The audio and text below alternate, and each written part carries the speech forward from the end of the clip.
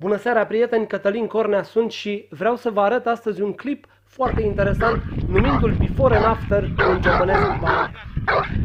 De ce Before and After? Pentru că veți vedea o transformare surprinzătoare în comportamentul acestui pui de ciobănesc barac între momentul în care ne-am văzut pentru prima oară și apoi întâlnirile după câteva sesiuni de dresaj.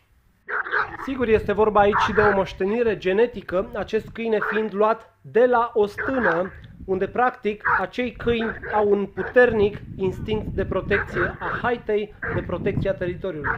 Însă, pentru niște oameni neavizați, acest comportament la vârsta de 8 luni de zile poate fi de-a dreptul îngrijorător.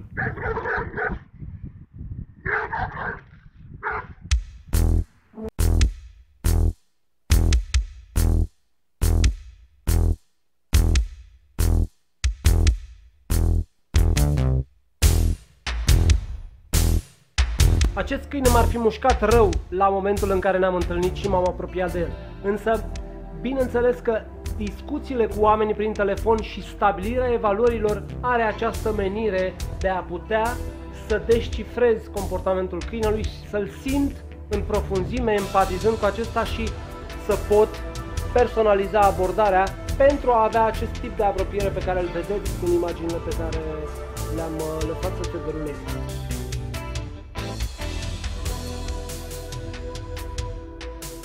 În această ecuație există două necunoscute, omul și câinele, așa că oamenii trebuie ascultați.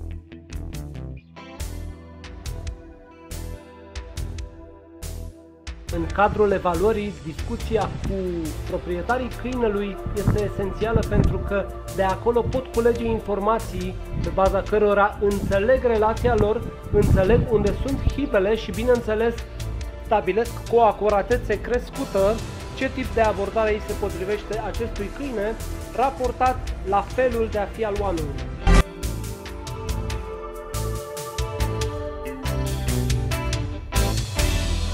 Energia este totul. În cadrul evaluărilor, eu obișnuiesc să-mi setez energia în funcție de predispozițiile câinelui, de comportamentul acestuia raportat la oamenii noi cu care intră în contact.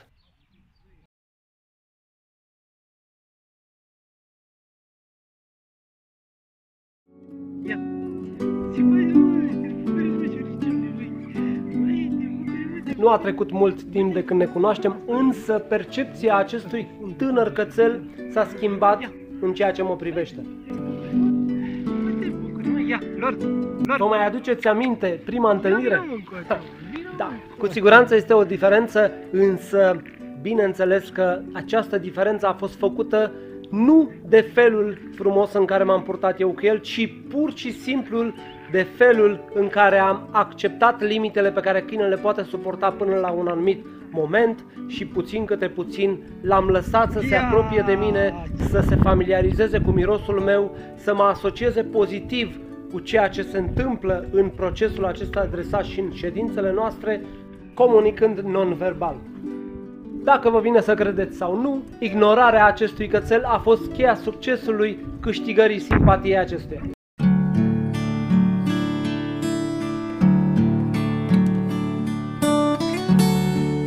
Câștigarea încrederii unui câine nu ține întotdeauna de dresaj, dragii mei. Nu ține întotdeauna de niște comenzi învățate în mod condiționat.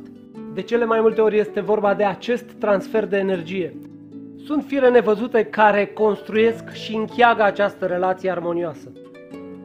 Să nu uitați că întotdeauna această comunicare este pe limba lui și bazată în totalitate pe respectul față de trăsăturile speciei.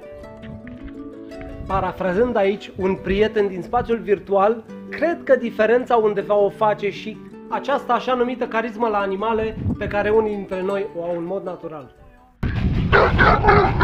Yeah! You're words?